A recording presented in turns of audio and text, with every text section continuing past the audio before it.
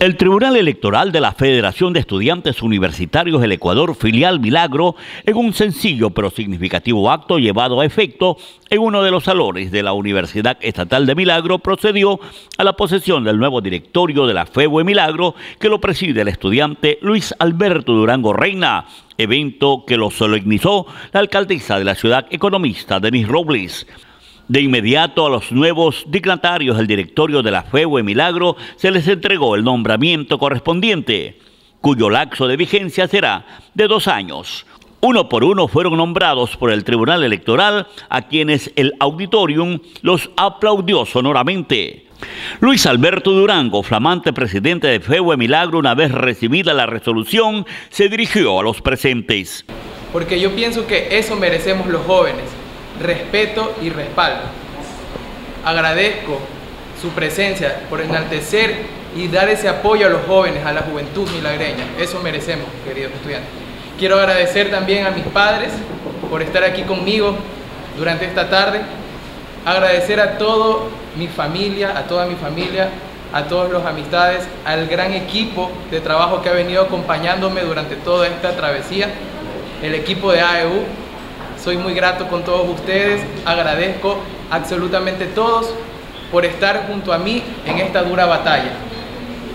Quiero agradecer asimismo a todos los estudiantados. Qué lindo hubiese sido que estuvieran aquí todos los estudiantes, porque ellos se merecen esto, ellos merecen conocer sobre sus autoridades, sobre sus estudiantes.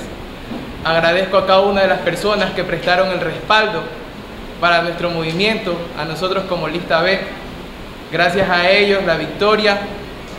Quiero asimismo en público decir a todos, nosotros aquí venimos con una misión, un objetivo, una sola meta.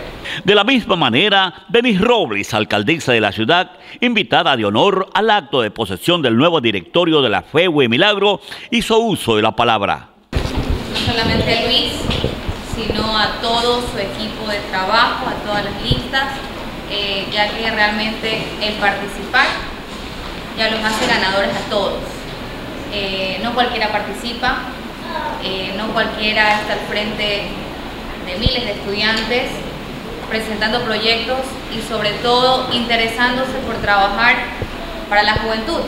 Entonces quiero yo felicitar a cada una de las listas que participaron y en especial a Luis por ese trabajo, por ese trabajo en conjunto. que le deseo los mejores éxitos, que Dios lo bendiga, le dé la sabiduría, en el camino va a encontrar muchos obstáculos. Eh, ya cuando son figuras públicas ya eh, se vuelve realmente diferente, ¿no? Ya ahora los medios de comunicación a veces en vez de informar, mal informan, tratan de dañar la imagen de la persona pero con el trabajo que tú demuestres y con el proyecto que saques adelante, vas a taparle la boca a las personas. A Durango le espera un arduo trabajo de servicio para la comunidad universitaria. Vicente Peso, Telemilagro.